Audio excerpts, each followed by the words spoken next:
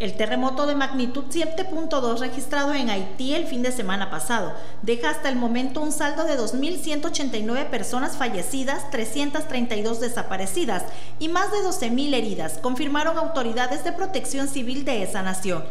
Mientras las bandas armadas que operan en Puerto Príncipe, capital de Haití, acordaron este miércoles una tregua para permitir el paso de ayuda humanitaria a la zona sur del país. La autoridad informó que la mayoría de las muertes registradas son en el departamento sur, 1.832. En el caso de los heridos, la mayor parte se encuentra en el sur, al menos 9.158 y 332 personas desaparecidas, sumada a los estragos del terremoto. Además, se integran los daños por las fuertes lluvias de la tormenta tropical Grace, que han dificultado las labores de rescate. En tanto, ciudadanos y autoridades de Haití continúan solicitando ayuda humanitaria internacional para poder enfrentar los estragos que dejó este movimiento telúrico, como medicinas, agua, alimentos no perecederos, productos de higiene, ropa y personal médico. Con información de Silvia Silva, Noticias TVT.